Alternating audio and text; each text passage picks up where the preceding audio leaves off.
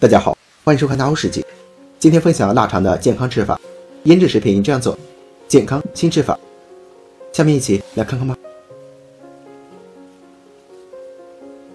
腌制食品在腌制过程中，为了防止腐败变质，需要大量的使用食用盐来腌制，所以会含有一定量的亚硝酸盐。亚硝酸盐会随着时间的变化而发生变化。腌制三到八天时，亚硝酸盐含量最高。第九天开始，亚硝酸盐的含量会逐渐的降低，十九天后就会大大减少。腌制食品在食用前需要学会正确的清理。第一点是擦。腊肠如果只是用清水冲洗是无法清洗干净的，清洗只是洗去腊肠表面的浮尘。清洗后，可以用高度的白酒进行杀菌消毒，而且还可以分解腊肠表面的亚硝酸盐。晒制腊制品过程中，难免因为气候原因导致霉变，用白酒进行涂抹，可以保证晾晒中不会长霉菌。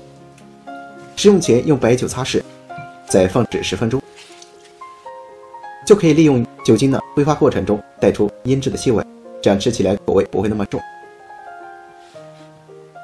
第二点。是膜。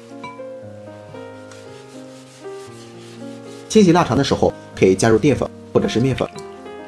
面粉和淀粉有很强的吸附力，可以有效的吸附腊肠表面的油脂或者是脏东西，同时也可以降低腊肠的盐分。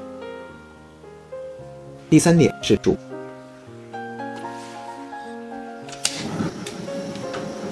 腊肠腌制好后，一般都是放置风干。经过煮制后，可以软化腊肠的口感，而且可以起到杀菌消毒的作用，同时也可以降低腊肠的盐分。第四点是蒸，蒸制后腊肠可以保留原始的口感，而且是比较方便的做法。腊肠不管是蒸还是煮。同样都可以降低表面的盐分。上面就是腊肠的处理技巧，喜欢的朋友就赶紧试试吧。喜欢我的视频就关注我吧。